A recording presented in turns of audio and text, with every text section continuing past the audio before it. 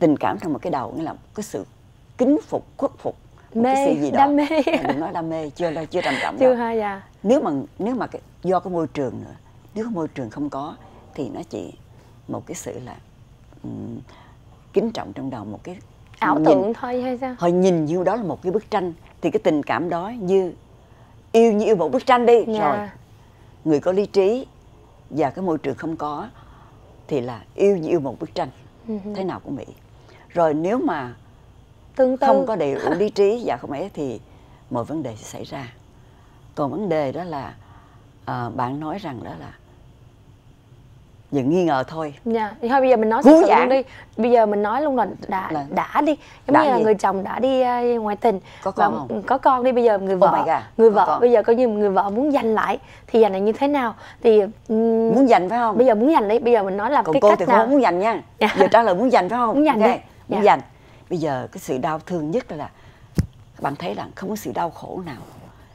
Các bạn nhớ rằng cha mẹ khi xin phép nói một điều là cha mẹ hay con cái các bạn chỉ gắn bó có một thời thôi. Nhưng cái người chồng hay người vợ là người đi đến nó suốt một cuộc đời của mình. Thì điều đó là gì? Em chia sẻ vấn đề nếu người đó lại đã ngoại tình đi, cái sự đau khổ không lường được. Đúng, đúng, khủng khiếp bội. vô cùng Dạ. các bạn hiểu các tôi hiểu điều đó lắm chứ rất là đau khổ bây giờ làm sao đây khi người chồng mình đã có con với người khác nhưng bây giờ em không Hay là giờ nó lại là mình chưa có con nhưng mà người vợ đã có con Oh rồi. Dạ bây giờ đổi ngược lại đi là người chồng lỡ sai con đường khoảng như mấy tháng đi hay chưa tới năm gì đó nhưng mà người vợ đã có gia đình giống như có con rồi người vợ muốn người chồng đó về lại thì à, biết à, giống như cô nói mình bỏ xuống nhưng mà mình cái cái những khi mà mình bỏ quên được nhưng mà khi mà người chồng về lại với mình á, nó không phải như ngày xưa nữa. Nó là có một cái dấu vết sai lầm rồi. rồi. Bây Dạ. giờ có có hai cái lý lẽ. Có hai lý lẽ. Đàn ông ông ông đó yêu cái người kia nữa phải không? Nhà yêu luôn người kia phải không? Dạ. và có con nữa. Có con nữa em muốn rồi cái người này vẫn cô này vẫn muốn giữ người chồng. Nhà làm sao cô?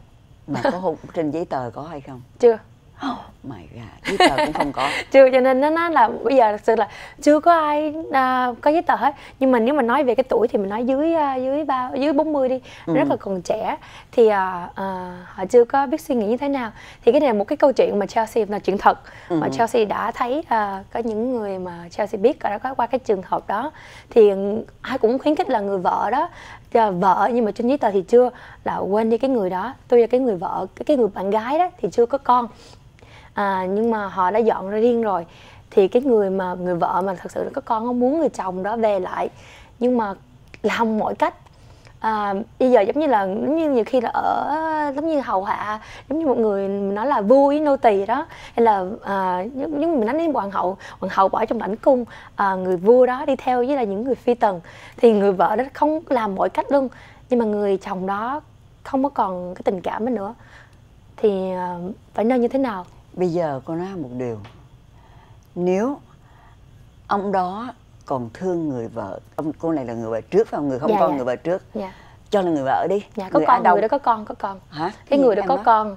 Em không confuse cô nãy. Có nghĩa là cái người mà vợ chưa không có trên giấy tờ là người có con. Mà người nào là người đi trước? Người đó đó. Người nào người có con phải người không? có con đi trước.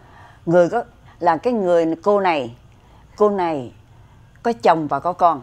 Dạ Có chồng và có con rồi Nhưng ông này lại có một cô khác Bây Dạ. giờ không có con. Dạ đúng đúng đúng. Như thì dễ thôi. Là Dễ tưởng, hả? Tưởng cô đầu là Nãy cô nghe lộn Cô tưởng À, rằng là ok. Cái cô đầu không có con cũng chưa có hôn thú. Chưa. Rồi bà này bà sao bà sao có con vậy có hôn bà bà sao Không có ai con. có hôn thú hết. biết rồi bà sao có con. Không bà trước mới có con. Bà trước có con. Vậy Dạ. thì ờ, để xin phép cô xin chia sẻ. Dạ dạ. Thì ờ, cái điều mà cô nói giờ sẵn nãy nói sức khỏe cô nói luôn. Dạ. Thì cô nói các bạn nhớ rằng là thường thường á, cái người Á Châu chúng ta đó thường thường giờ cũng còn đó nhiều khi trong cuộc sống rồi con cái ba bốn đứa rồi lại lơ là đi để chính mình.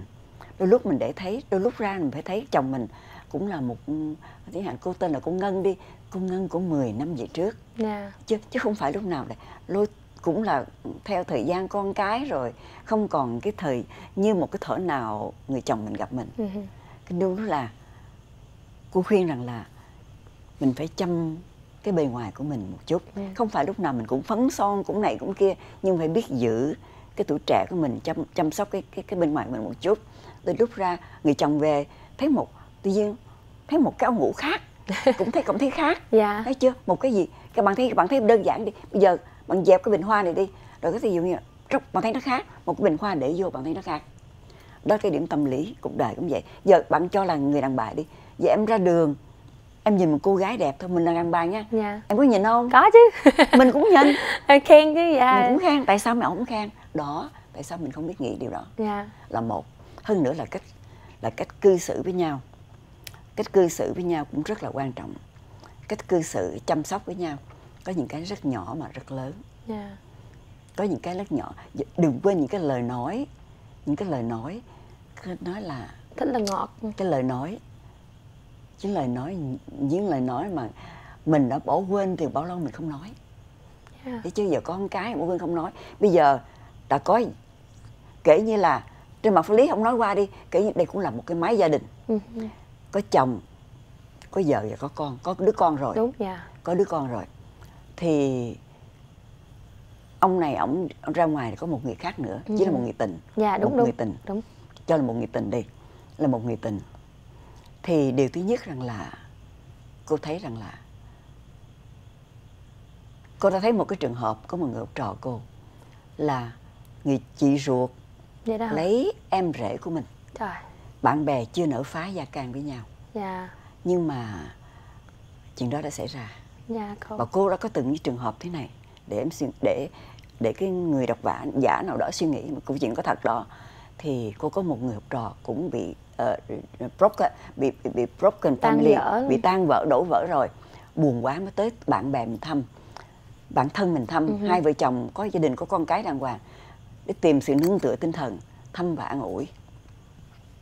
Thì không biết sao an ủi sao thì một ngày nào đó ông chồng hiểu cô này cô này chỉ là sự hiểu nhau. Ừ hử. kết nói kết lại hả? No. Ồ cái cô mà mà À. bị bị bị bị đổ vỡ đó tới nhà bạn mình đã có vợ chồng con đều về tâm sự cho mà Ừ. đỡ khổ đi.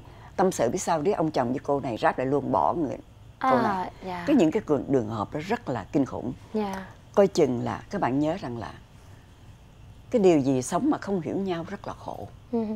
mình không biết được cái nguyên nhân thế nào một là không hiểu nhau.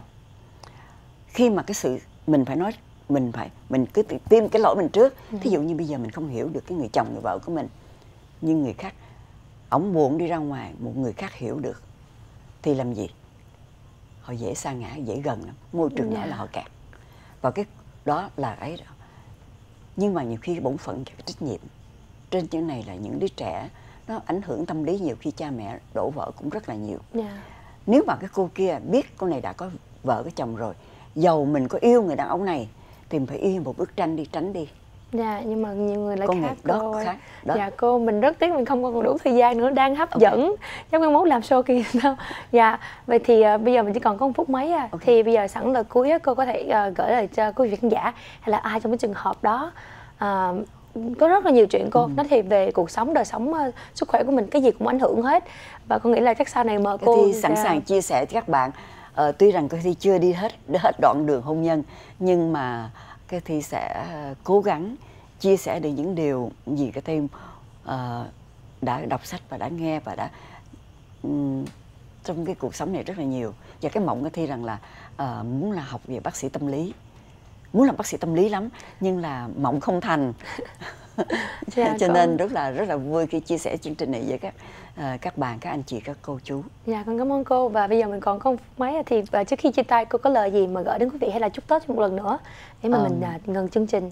thì xin ờ, gửi lời đến các các anh chị cô chú là chúng ta điều quan trọng là sức khỏe và cố gắng cái tâm chúng ta ổn định bình thản cái được cái thua bình thản trước hạnh phúc hay đau khổ nhẫn và bỏ Đúng rồi. Dạ con cảm ơn cô rất nhiều và cảm ơn quý vị khán giả đã theo dõi chương trình. Và hôm nay một cái mà ngẫu nhiên là hai à, cô cô Cathy đây với Chelsea hai người không hẹn nhau mà cùng mặc một màu giống nhau nhưng mà cái quần những cái áo nó trộn lại rất là dễ thương. À, và cảm ơn quý vị khán giả đã đón xem chương trình.